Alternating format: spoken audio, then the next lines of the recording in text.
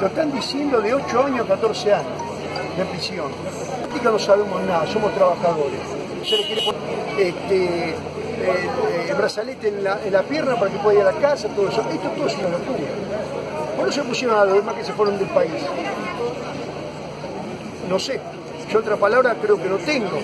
Lo que sí le pido a, no por hacer lío, sino por algo correcto, por algo, por un derecho que necesita un trabajador.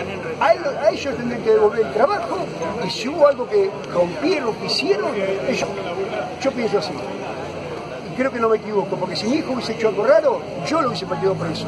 Y él sabe cómo soy. Yo me crié, como dije el otro día, en la calle a los 8 años. Pero cuando formé una familia, mi familia la formé derecha. No la formé para que salgan a robar o para que salgan a pelear. Su derecho. Ella es un hombre y tiene su derecho. Yo no puedo meterme en su derecho. Y tiene razón, 16 horas. ¿Quién maneja 16 horas? Ninguno de nosotros. O nos tenemos que drogar todos.